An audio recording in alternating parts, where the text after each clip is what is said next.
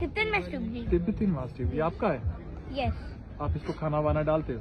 Yes क्या खाना देते हो इसको डॉग फ़ूड वगैरह जैसे डॉक्टर क्लाउडर्स का डॉग फ़ूड हाँ। और दही चावल। सॉरी मैं आपका नाम पूछना भूल गया। आपका नाम क्या है? रुद्र शर्मा। और आप आपकी उम्र? हम्म, उम्र एज आठ।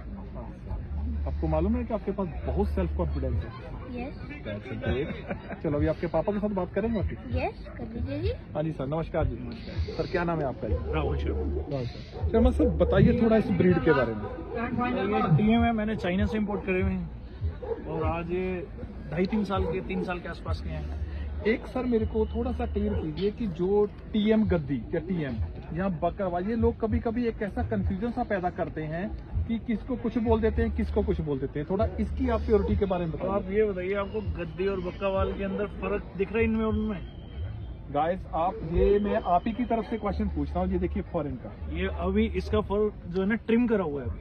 अच्छा अभी ट्रिम किया हुआ ये है। ट्रिम करा हुआ फर अब आपको फ़र्क अपने आप दिखेगा। अब आप बाहर देख लो वो गद्दी को जिसको वो कहते हैं वो आपको बाहर भी दिख रहा है। गाइस वो देख रहा हूँ आपको वो एक जा रहा है वो एक जिसको टीएम कहते हैं। जिसको टीएम कहते हैं। वो गद्दी ही टीएम है।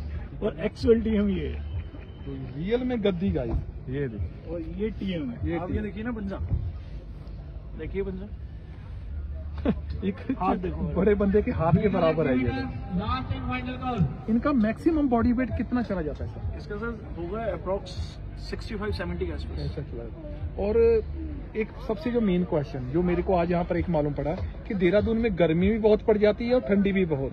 तो इसको किस ब्रीड में किस वेदर में रखना है चैलेंज ओपन रखा हुआ है जी मैंने। देहरादून में कोई एसी नहीं कुछ नहीं प्रॉपर ऐसे ही रखा हुआ है कोई इशू नहीं है किसी कभी कोई हेल्थ इशू नहीं कोई इशू नहीं है। आपके सामने है? चलो ये थोड़ा गोल्डन में हो गया। ये ब्लैक में है। ये जेड ब्लैक और इसको भी कोई जेड ब्लैक में इसको भी कोई वेदर कोई इशू नहीं है किसी तरीके का।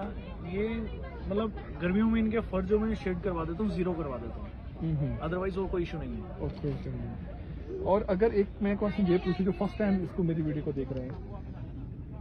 ये ब्रीड लोगों को लेनी चाहिए और क्यों? ये शौकिया ब्रीड है। अगर आपको शौक है और अफोर्ड कर सकते हैं तो हंड्रेड परसेंट रखो। ये चीज़ है रखने वाली। ओके